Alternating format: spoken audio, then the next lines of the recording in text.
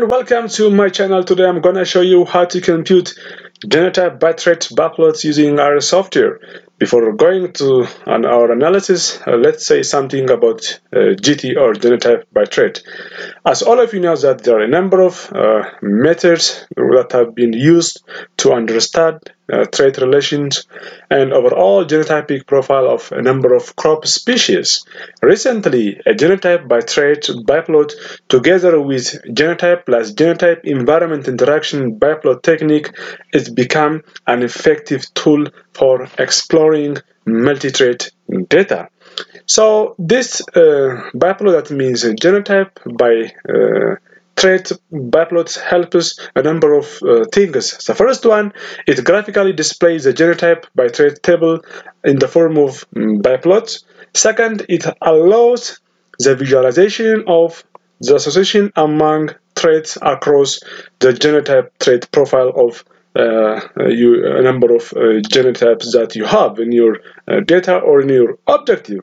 Certainly, it also provides information on the usefulness of the cultivar for the production as well as it generates important information that helps to detect the less important or the redundant uh, traits. And lastly, it, it helps us to identify those uh, appropriate or those that are appropriate for uh, indirect uh, selection for a target trait. So this is uh, the concept of the genotype by trait uh, uh, analysis. So let's go to our analysis. In order to run GT, you have to run this package, that means the metan package. Thank you, Professor Tiago Olivoto for creating this wonderful uh, platform. That means this package is already built by uh, Professor Tiago Olivoto.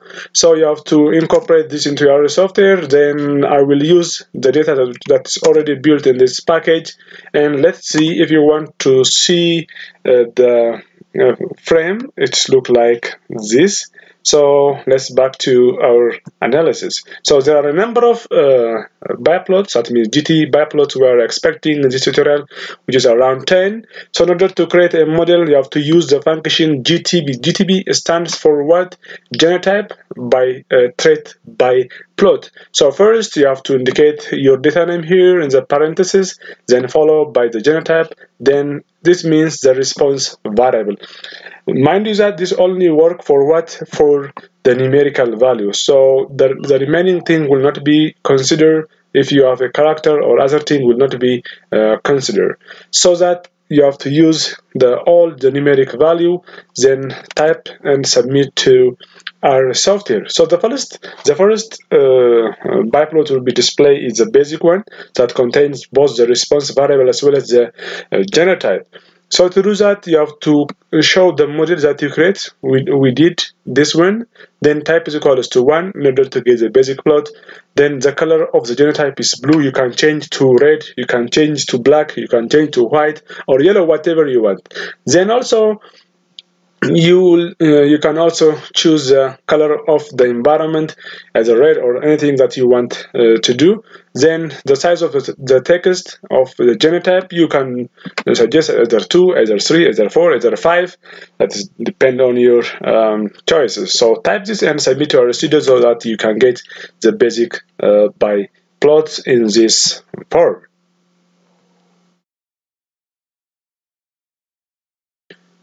The second one is, uh, if you remember in the genotype plus genotype by environmental interaction, it is mean uh, versus the stability. So in this case, we uh, we will get the average tester coordination view for the genotype trait. So to do that, all are all things are similar, but you have to change here from one from 1 into 2 so type this and submit to our studio so that again you will get uh, such type of uh, biplot in the uh, right side of your R studio. Then continue for the third one which is uh, which one where. So in order to get which-won-where just type is equals to instead of 2 make his uh, 3 so submit to RStudio so that you can get the which one where v of the uh, genotype by trait uh, biplot in this form Next, uh, you can get also the discriminatives uh, versus the representativeness. So in order to, uh, to do that, you have to type is equals to 4 instead of 3 so that you will get the detailed information. So submit to RStudio, then again you will get the discriminative versus the uh, representativeness.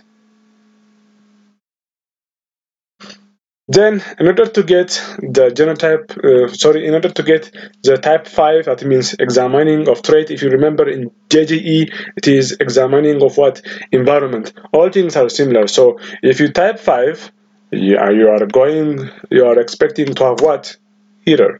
So, to correct that, you have to just use a plot, then indicate your model, then you have to select which environment, which trait you are going to examine. So, Accordingly, in our data, I want to examine this in the environment section so that I indicate in this way. So I will get the type 5 in this way. But if you type, if you uh, do the uh, as a, a previous one, it will not be work. Then again, in order to rank the traits, but if you remember in the GGE, it will be what ranking of what the uh, environment. So in order to do that, you have to here type is equals to six. But mind that type is equals to five is not work, so you have to use this syntax in order to get to examine the trait. But if you want to get the rank of the trait, so simply type is equals to six, like uh, type one, two, three, and four. Uh, plots, biplots. So type this and submit to RStudio. You'll get this uh, kind of uh, by uh, plot. Let's continue to the type 7. Type 7 means examining of what? A genotype. So I'm still like type of 5, I'm expecting error and instead of type is equal to 7, you have to suggest what? The uh, which which which genotype you are going to examine. So uh, plot then mode you have to use the select function which equals to gene. Gen which stands for what? It is the genotype uh, name. So genotype column name. So submit this you will get the result again in this uh, form.